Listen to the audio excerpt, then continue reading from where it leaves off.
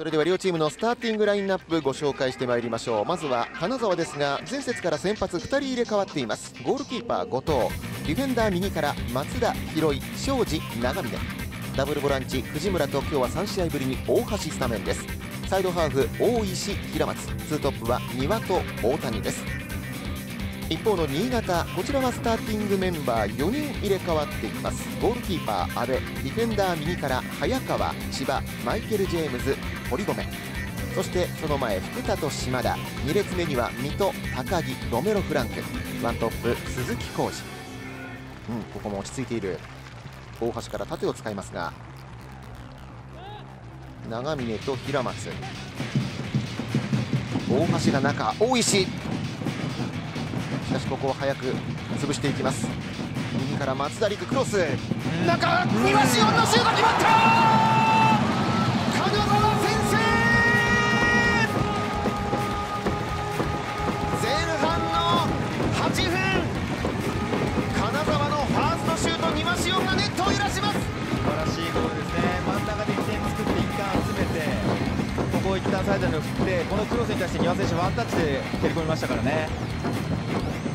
隠れた位置早川選手は後ろの背中のポジションを取って見えないところから出てきてここでワンタッチですね。合わせた丹羽選手も素晴らしいですし、まあ、あそこにポジションを取った丹羽選手の動きも非常に素晴らしかったですね。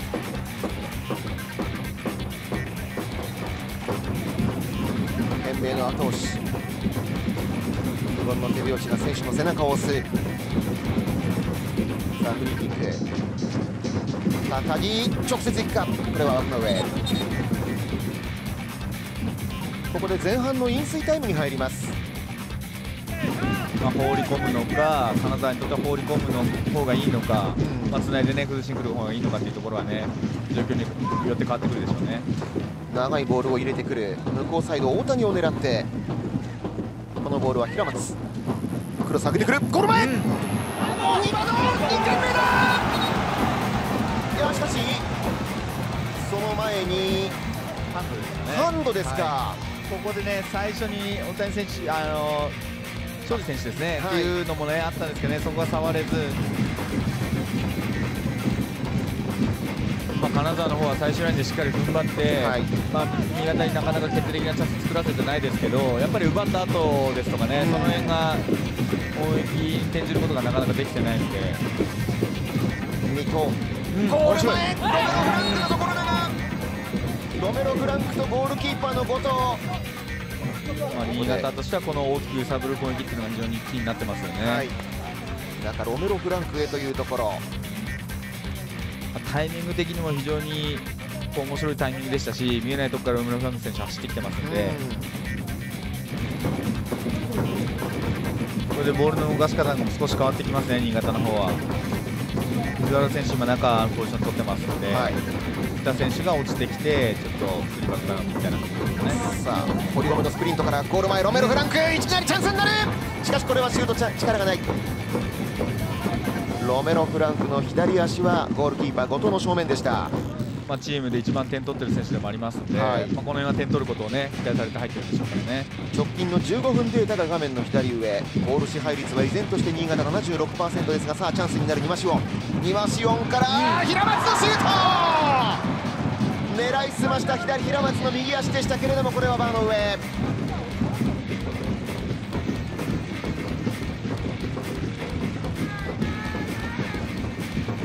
千葉から中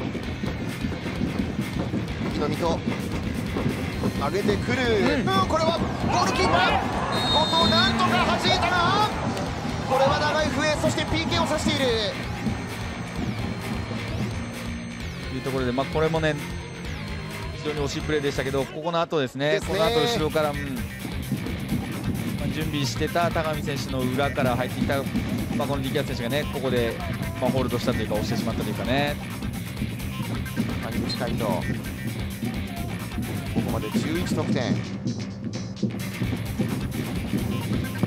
新潟と後藤止めたまだいや後藤ビッグセーブがっくり肩を落とした谷口海斗。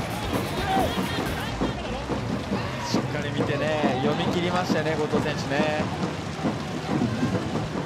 最後まできちっとこうボールを見て相手選手を見て読みがちですね後藤選手の。長木から本橋を本橋を仕掛ける、そして水戸。水戸左足。後藤キャッチ。